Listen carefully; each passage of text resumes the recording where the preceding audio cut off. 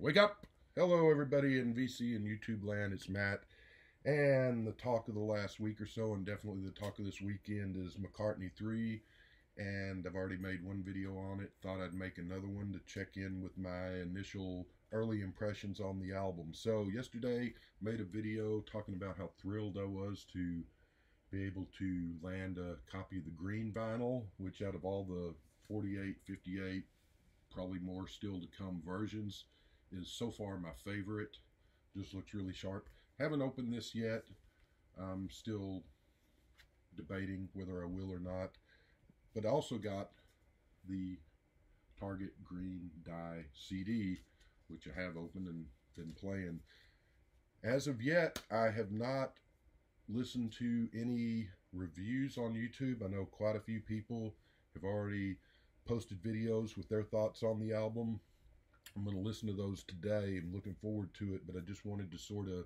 I did listen to the Two Legs had a. They went live last night with uh, just people talking about the album. So there was some, you know, you got some feel of how some of the people felt about the album. But other than that, there's there's a lot of reviews. I'm looking forward to hearing those. I thought I would weigh in with my early take and you know you can uh, get yourself in trouble here doing this because a lot of times uh, with an album or anything else i suppose a movie or whatever you might really like it just on first blush or you might really not like it and then you know six months a year five years later you look back and think eh, it wasn't really as good as i initially thought it to be or, or it's a lot better than i initially thought it to be. So this is not going to be a really in-depth review. I'll save that for somewhere down the road, a year or so from now. I still haven't done, even though I've reviewed all the McCartney albums, I still haven't done a, a full-fledged review of Egypt Station. And so I did, I think I did give kind of an initial impression video on that too uh, a couple of years ago when that came out.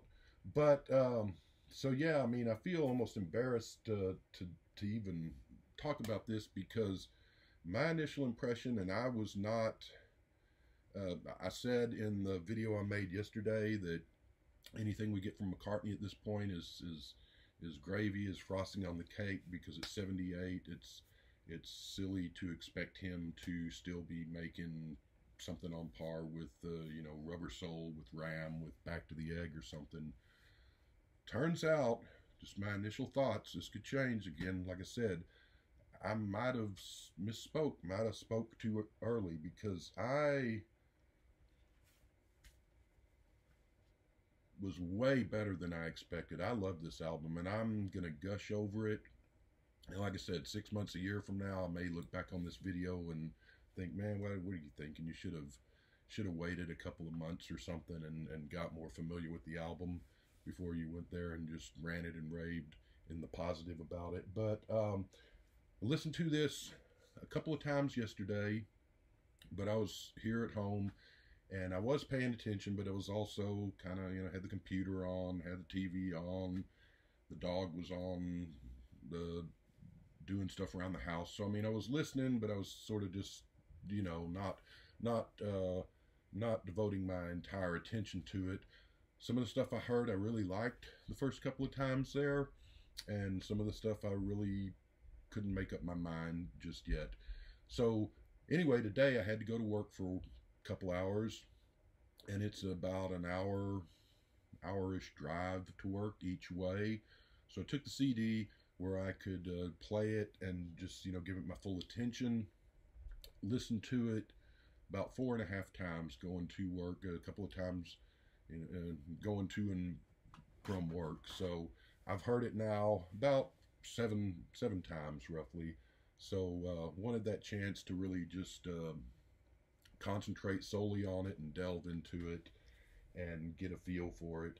So um, I do love that cover too. I mean, I think that's going to be. Some people have said that it's just an okay cover. Some people like it. I think that's going to become one of the iconic McCartney covers.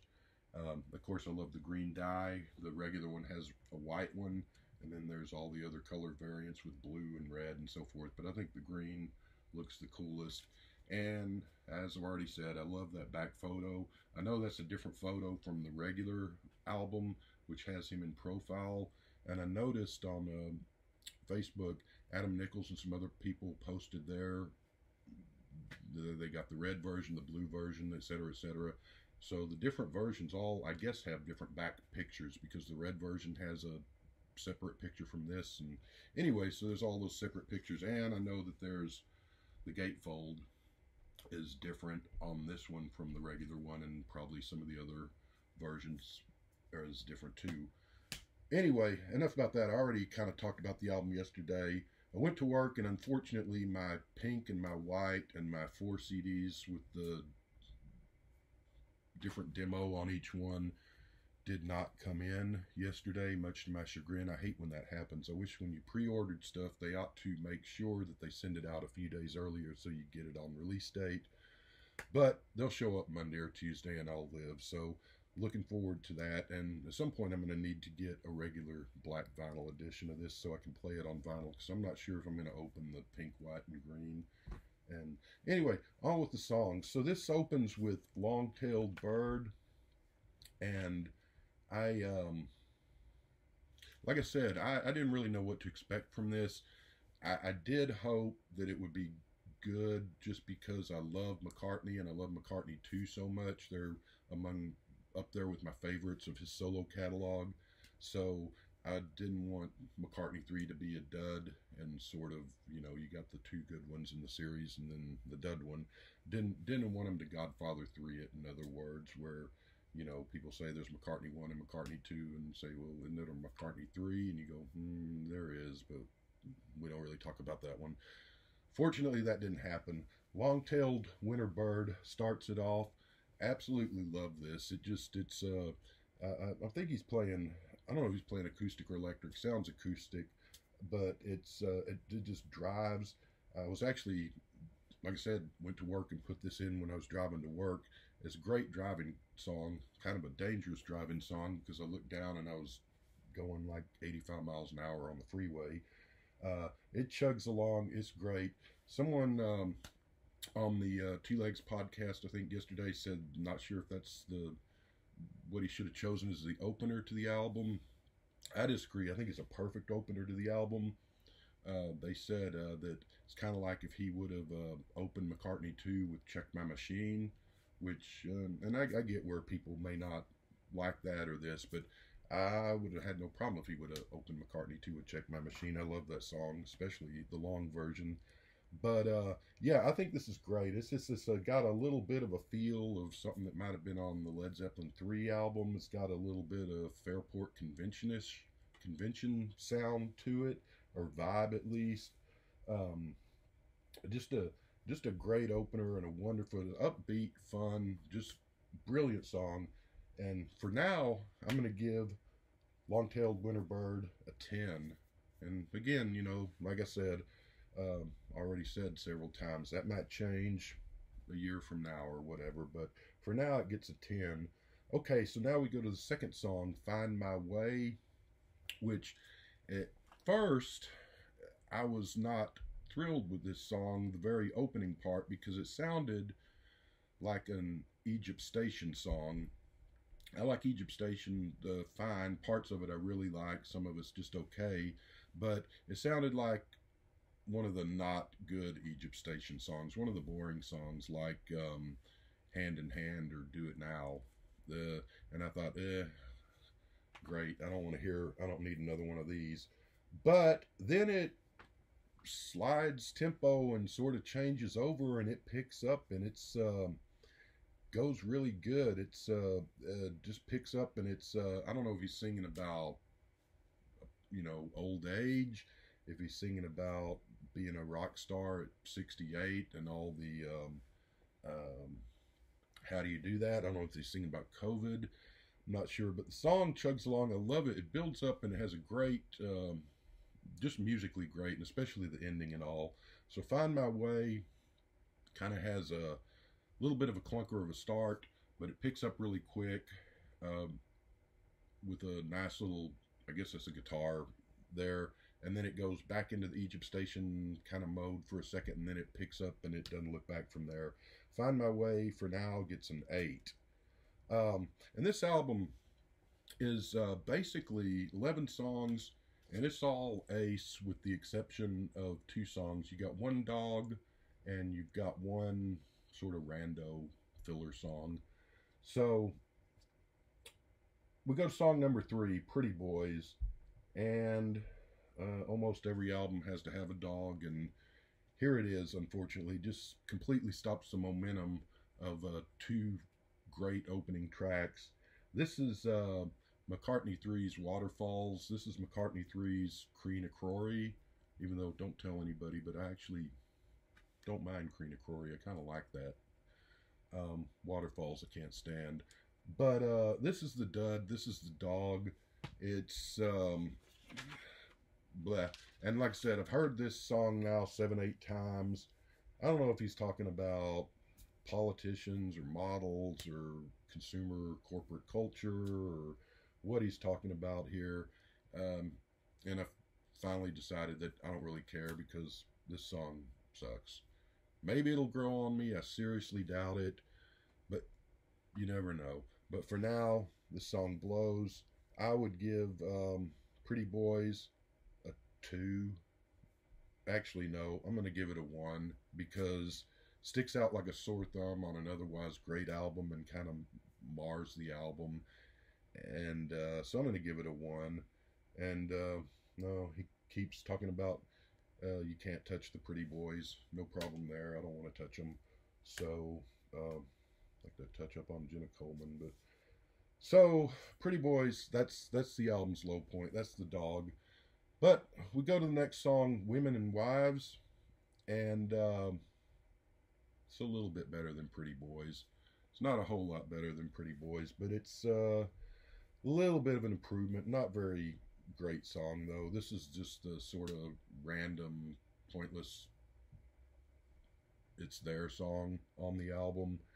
Um, he, he sings in a deep voice, kind of trying to do Fats Domino or Leadbelly or Howlin' Wolf, I guess. I don't know what he's up to there. Uh, he's in pretty good voice throughout this album. Better voice than he was in Egypt Station. And I really didn't mind his singing in Egypt Station overall because I, I understand he's, you know, 70s. He's not going to sound like he was back in uh, 20s and 30s. That's, you know, just how it is. But uh, better vocals on this album overall. But um, there's nothing wrong with his vocal here. It's just kind of, I'm not sure what he's up to with the deep voice singing here. Um, the, the thing about Women and Wives is not a god awful song, but there's just nothing to it, and it's certainly not good. And there's, he's got this annoying tendency over the last 15 or 20 years on his albums of always having a song or two like this that's just sort of you know, it's not awful, but it's just just doesn't really have any reason to be, to exist, to be there. Uh, like the aforementioned "Hand in Hand" or "Do It Now" on Egypt Station, that were just sort of blah songs. So, uh, "Women and Wives," there's a, a couple of times in the song where it, it sounds like things might get interesting, but they really never do. It's um, it, it's just you know it's boring and if if I ever wanted to listen to boring music, and so far in my life I never have, I don't want to get it from Paul McCartney. If I want to listen to boring music, I'll go buy an album by the Eagles or Tom Petty or U2 or go listen to Rumours or something. Uh, so I, I, don't need boring music from Paul McCartney. Um, and and the, the sad thing about this is, you know, there's going to be Egypt Station, the Casino edition for 300 bucks, and plenty more variations and special editions and unreleased tracks coming out of this, just like there were with uh, Egypt Station. And no doubt we're going to get some of those unreleased tracks that we're going to say, man, that's 10 times better than Pretty Boys or Women and Wives. Why the hell didn't he put those on the album and leave Women and Wives for an obscure B side or alternate, you know, bonus track? Or better yet, just throw it on the floor and forget about it. So at this point in the album, though, I will say I was a little fearful because I was thinking, well, you had two great opening tracks, and then you got the hit these speed bumps of pretty boys and women and wives that aren't very good, and I hope that doesn't mean the rest of the album's going to be stuff like this, and that it's just going to be okay an album with two songs that are worthwhile on it. Fortunately, the next song, Lavatory Lil, is uh turns things around. That son of a bitch froze again. Damn computer.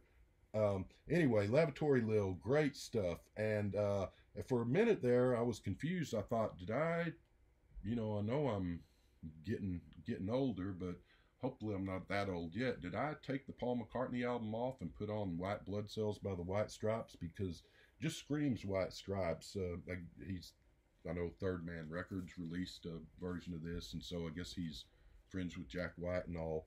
But um, good stuff, and it also is kind of the title's neat because it harkens back tip of the hat to the Beatles. Uh, you know, Polythene Pam and Mean Mr. Mustard, uh, Semolina Pilchard, and stuff like that. So there's that sort of connection.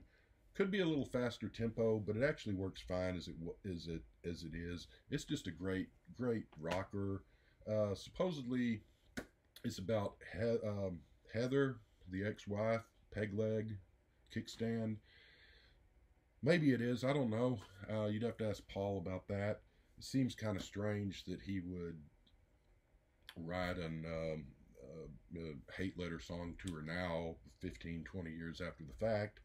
But maybe it is. Maybe he just holds a grudge.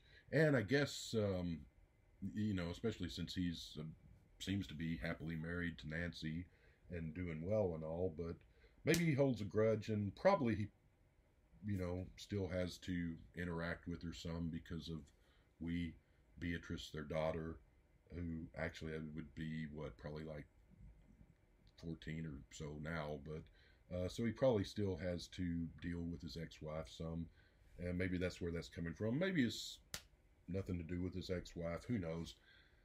But for now, uh, Lavatory Lil gets a 10 from me. Next, we go to Deep, Deep Feeling.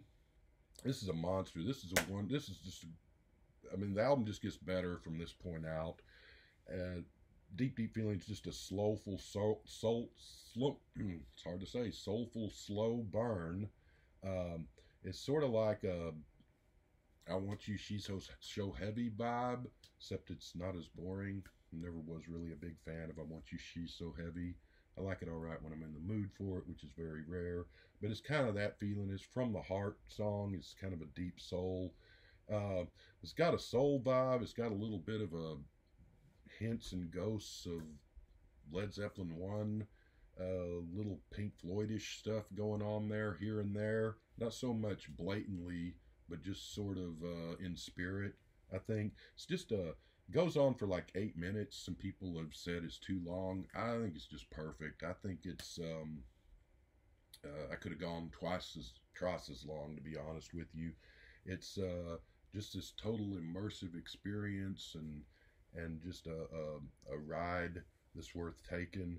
Love the false endings. I love that it goes on forever and that he's just reeling it out and jamming uh, just a great, great soulful song, and that's going to get a 10 from me. And I will add, I was hoping that damn computer would unfreeze. Um, I will add that uh, it's just a perfect morning for listening to this because this is always, I think, going to feel like a Christmas album to me, just the way that, um, you know, to many, uh, the White Album and um, Rubber Soul feel like Christmas albums, uh, even John Lennon Plastic Ono Band, mainly because it came out around Christmas time, all those albums and this too. But it's just got a really wintry Christmas holiday season vibe so far to me. And when I was driving to work today, it's, it's kind of chilly. It's nice. It's going to rain a little later, but it's cloudy. It was foggy. It was just perfect, uh, cool, uh, pleasant weather. It was cold the last few days. Today it was like 50 or so in the morning. So just really nice weather. And uh, driving in the car, and I was driving in the drove in through the back roads out in the country. So really great uh, added to the listening experience. But deep, uh, deep, deep feeling gets a ten. It's just an incredible wonderful song, and I love this so long. And and I'm like I said, I, I love the long version of Check My Machine. I love the long version of a lot of the James Brown songs, like Papa Don't Take No Mess, where you can go with the commercially released 45 or you can go with the 10 minute version. I'm the one who thinks that it's all too much, should have been stretched to 20 minutes long and stuck on the backside of Yellow Submarine album, Deep Six, the George Martin stuff, and just have like that sidelong, uh, you know, album uh, backside, just one song on it. Uh, it's one of my favorite George songs anyway. It's probably my second favorite George song of all time. Uh, then you could have put um, the White Album version of Not Guilty on the other side and made Yellow Submarine a George heavy album. But anyway, I like the long songs. I like the long long jams, and I can understand where a lot of people don't really get into that. So it's just kind of to where you like that or not. I like it. So I give Deep Deep Feeling a 10 right now. Then we go into this really heavy rock and roll song called Sliding. Again, you kind of got a feel of a White Stripes or a Black Keys song, only better. I like both those bands all right. But this is just heavy Paul McCartney, uh, probably the heaviest he's been since Nothing Too Much, Just Out of Sight, the opening track of Electric Arguments. Uh, love the guitar stuff in here. I kind of take the song lyrically as Paul giving the finger to old age. Just early impression. Sliding, just a wonderful monster of rocker. It gets a 10 too. Now we go to the eighth song, The Kiss of Venus. Um, you know, acoustic song. Paul sitting back, you know, singing a ballad outside on the porch kind of feel. Got a sort of a White Album, Mother Nature's Son feel to it, or kind of like some of those songs, the Hey Diddle Diddle and stuff, the songs like that that he made around the time of Red Rose Speedway and um, Wild Life in between that sort of period. Um, Love, I think it's a harpsichord. Love that part. There we go. Piece of shit.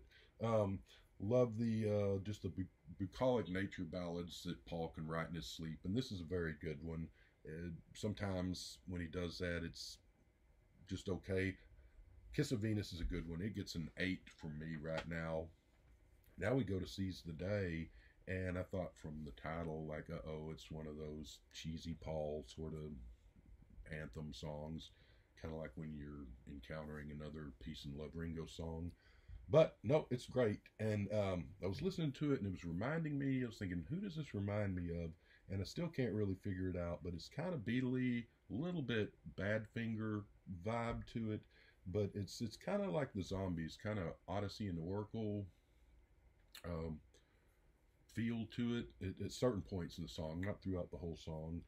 But uh, just a great, great, another great song. It gets a 10. Uh, the, there is a line in there about dinosaurs and Santa will be staying in tonight, which uh, it lately, last few albums, Paul's been pretty good about not doing the cringe-worthy lyrics, and uh, I just thought of that when I saw that. But actually, I think that's kind of a cool little lyric. So the lyrics in here, some of the songs don't make a whole lot of substance or sense lyrically, but there's there's nothing really um, Eskimo toes and Yankee toes or whatever. It's in that same song, but neither of those are too bad. So there's nothing really too embarrassing or embarrassing at all lyrically. But Seize the Day, really good, uh, late 60-ish, early 70-ish sounding pop rock song. Great one. I'm going to give that a 10 too. I mean, it's getting embarrassing giving the tens away, but now we go to number 10. Um, maybe my favorite. I don't know. I, I haven't really decided what my favorite. The first uh, long-tailed winter bird may be my favorite, but deep down number ten also one of my favorite. It's just an epic soul groove. It feels like, sounds like a, a great lost Prince song or a great lost Stevie Wonder song from talking Stevie Wonder back in the 70s when he was good, not Stevie Wonder from the 80s on when he was lame. Just really lyrically, it's repetitive but a lot of soul music is, so that's fine. It, it, works fine. It's just a monumental, just builds and grooves and and sways and rides. It's this sort of a epic thing like Isaac Hayes' version of Walk On By or something. and uh, love this. It's a long one. I wish it would have been longer. I'm going to give uh, 10 to Deep Down. Had it confused there with Deep Deep Feeling for a second, but both of them get a 10 because they're both great. Um, so, yeah. Uh, what do we got left? We got one more song left here. Um, album ends with one of those double song ballads that Paul so loves to do. Winter Bird and When Winter Comes. And I know Tom Hunyadi, I'm pretty sure he was saying he wasn't too crazy about this one. Could be mistaken, but I think he said that on the Two Legs podcast last night. Again, love you, Tom, but disagree here. I really love this one. This one has the feel of um, another one of those Paul in the country on the farm nature songs, uh, a little more upbeat. It kind of reminds me of some of the stuff on Ram reminds me of Little Lamb Dragonfly. Little Lamb Dragonfly is better song than this, but then again, that's the best song on Red Rose Speedway in my opinion. But this is great. I'm I'm going to give this one a 10 too. I just love the uh, imagery, and it's almost like a a storybook, you know, a big Beatrix Potter book or just a storybook set to music. I kind of see a little story and images in my head. Really love the guitar playing and the singing and I think it's a, a, good fitting into the album. So that one gets a 10. So there's a lot of 10s um, on this album, and like I said, there's only two songs I don't like, and everything else is is in that. I don't think I gave anything below an eight, uh, and everything else was a nine or a ten. I don't know if I gave any nines. I think I gave a couple of eights and tens, but um, so criticism and this is one that of course he has no control over it's just it's, it is kind of sad that he doesn't have the voice that he had 20 or 30 years ago it would have been great to have heard these songs in um, peak mccartney vocals but life is what life is and so he's 78 you can't expect him to sound like he did back in you know 1975 or whatever anymore but i think his vocals are good on this overall it's just it's kind of sad that it would have been how great it would have been to hear him sing these back in the day.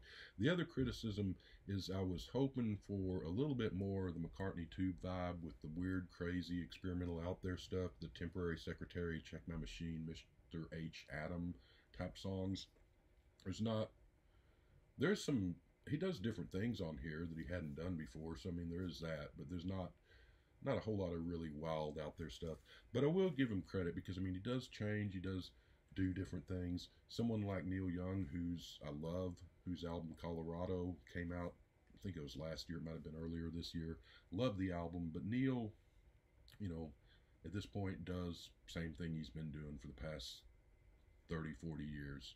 He just does the Neil thing. So you got to give McCartney credit for doing different things. Even something like For You on um, Egypt Station and the other sort of auto tune song that he did, which I didn't like at all and thought was horrible, and the song that he did with um, uh, one of the rap guys, uh, don't remember which one, thought was terrible. But I mean, even there, I give him credit for at least trying to do new things and different things and taking some chances, even if they don't always pay off. Here, fortunately, he takes some chances, and in my opinion, they always pay off.